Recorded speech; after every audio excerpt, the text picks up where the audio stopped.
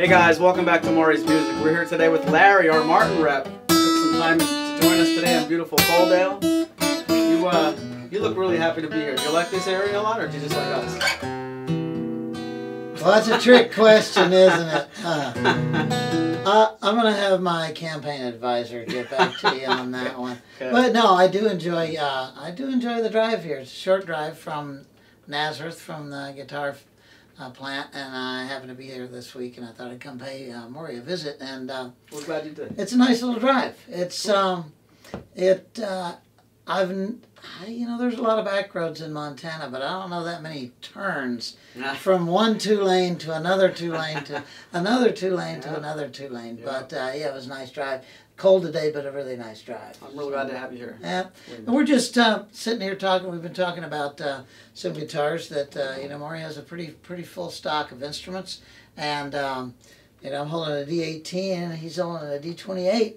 These are like flagship. I mean, this is what uh, brought us to the dance right here. These these two models are very popular. Yeah. Uh, always do well a- everywhere you go. You see people. Hank Williams owned one of each of these, uh, Mhm. uh, all the way up to. Uh, McCartney. uh, McCartney, yeah, Sure.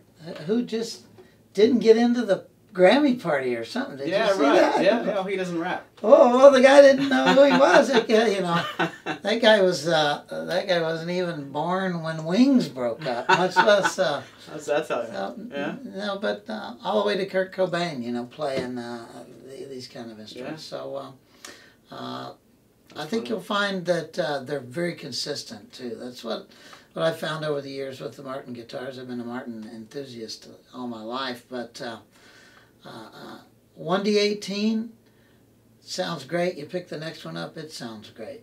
Are there going to be one here or there that's uh, stellar and maybe a little bit nicer than the other?